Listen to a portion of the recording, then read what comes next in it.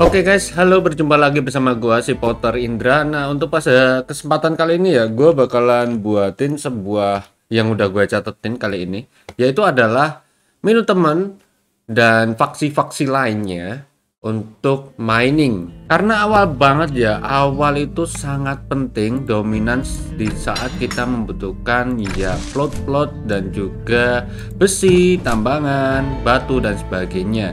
Jadi Hal yang pertama yaitu adalah kita buka dulu untuk hero kita. Untuk faksi yang di bagian menu teman ini ada untuk Brom ini, lalu Cindy dan juga Coleman. Brom kenapa? Karena di bagian sini dia adalah seorang tank dan juga dia kumpul. Kumpul ini adalah hero untuk muatan pengumpulan formasi lebih 100 efektif saat dalam formasi. Lalu ada Cindy di bagian sini pun dia juga sama ya. Ini adalah versi untuk dalam pengumpulan. Lalu ada destruksi, ini juga untuk mengurangi pertahanan musuh. Namun bisa digunakan untuk penambahan pengumpulan juga. Jadi kalau full di bagian kumpul, ini buat pengumpulan muatan dalam bentuk ya kalau kalian mau nambang mining besi maupun gold ataupun batu Lalu di bagian Avenger, Avenger sendiri udah ada Betty, Ivan dan juga. Matthew, Matthew. Ini ya satu, dua dan juga tiga. Namun Betty sendiri dia destruksi dalam pengurangan sebuah pertahanan di kota fasilitas. Lalu untuk Matthew dia ini formasinya tempat pengumpulan. Ada juga untuk Ivan pengumpulan juga. Lalu untuk bagian pemantau nih. Nah, di pemantau ini udah ada eh sorry. Pemantau. Pemantau ada David, Park Jimmy, Patrick dan juga Winston. Ya, ini ada David ya di bagian sini. Dia itu perencanaan taktik dan juga pengumpulan untuk mining. Lalu ada Pak Jimmy juga, dia pengumpulan juga. Wah, tidak. Lalu ada juga untuk Patrick. Ya ini destruksi untuk mengurangi pertahanan musuh. Lalu ada juga Winston. Winston sendiri juga destruksi untuk mengalahkan pertahanan musuh.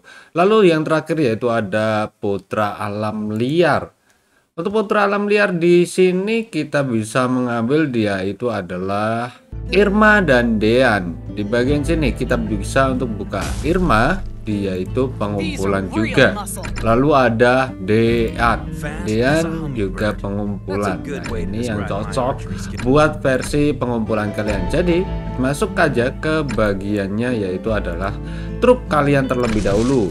Ini adalah hero-hero cadangan yang perlu kalian lengkapin ya tapi di sini gue benahin dulu guys sebentar ya Oke kita ambilin satu persatu Hohoho. kita masuk Lalu di bagian sini kita bisa kurangin terlebih dahulu. Ini kita save aja, lalu beri aja untuk namanya. Lalu ganti gambarannya seperti ini. Oke. Terus kita ganti langsung. Tuh dua, tiga, empat. Di sini kita ganti lihat dulu untuk yang kita punya. Di sini Pak Jimmy, lalu di sini Irma. Oke. Kita mulai dari menu teman. Menu teman sendiri udah ada untuk bagiannya Cindy, Brom. Lalu di bagian Avenger yang masih tersisa di bagian sini ada Ivan, Matthew. Ah, Ivan, Matthew sini dulu. Oke. Lalu yang terakhir ada Putra Alam Liar aja ya. Putra Alam Liar kosongan dan pemantau kita lihat di bagian sini nggak ada juga. Um, kalau nggak ada seperti ini gimana bang? Kita cari aja yang lebih dominan yaitu berbaris. Kita masuk ke bagian menu temen. Untuk berbaris sendiri di sini ada Doris. Nah seperti ini. Kita klik lalu kita ganti nama. Ini mining kita pindah. Nah kayak gini.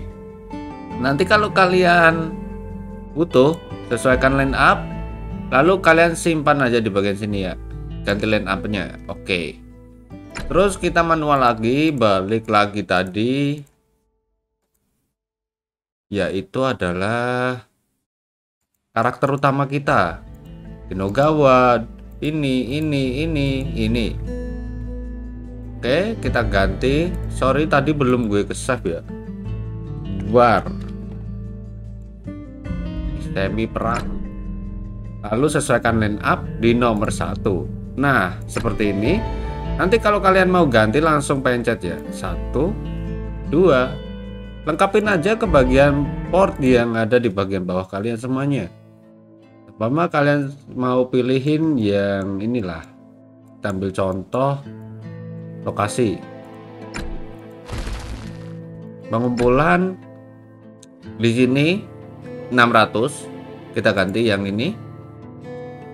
Ditambahkan 600 juga ini karena masih kondisi ini ya tiga doang. Ini tiga kan 600 nih cadangannya kompletannya Umpama cari yang lebih tinggi sebetulnya guys.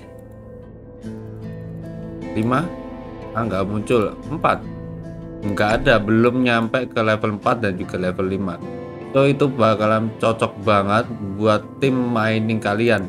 Nanti lengkapin dan paling cocok yaitu di nomor 3 karena nomor 3 ini kalau kalian upgrade terus kalian di nomor 3 ini kan nggak sedikit ya waktu yang kalian butuhkan.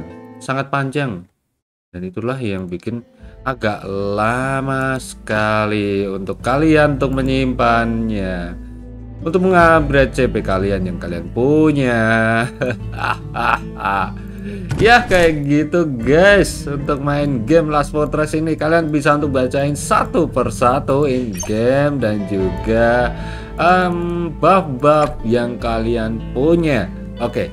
Mungkin segitu aja untuk video kali ini. Jangan lupa bahagia. See you next time and bye bye.